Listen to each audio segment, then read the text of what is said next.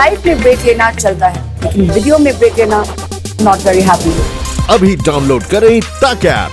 देख बिना ब्रेक।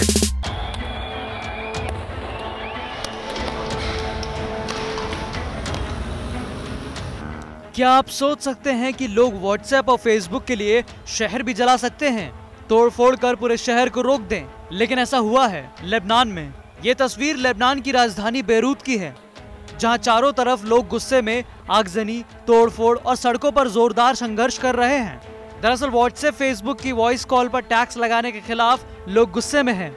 राजधानी बेरूत में सरकारी दफ्तरों के बाहर प्रदर्शनकारियों ने टायर जलाए और गाड़ियाँ फूक दी, जिसके बाद भीड़ को तितर बितर करने के लिए सुरक्षा बलों ने आँसू गैस का इस्तेमाल किया।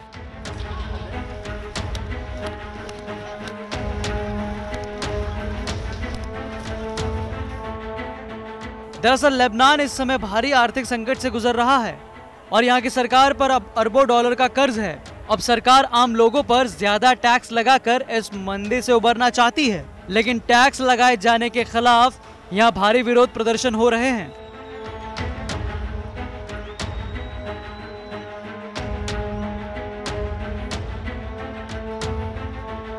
हालाँकि हिंसक प्रदर्शन को देखते हुए लेबनान सरकार ने व्हाट्सएप कॉल पर टैक्स लगाने के अपने फैसले को वापस ले लिया है। शुक्रवार को लेबनान के प्रधानमंत्री साद अल हरीरी ने कहा कि देश बहुत मुश्किल के दौर से गुजर रहा है, लेकिन उन्होंने इस्तीफा देने से इनकार कर दिया है। साथ ही सरकार के टैक्स वापसी के फैसले के बावजूद प्रदर्शन लगातार जारी है।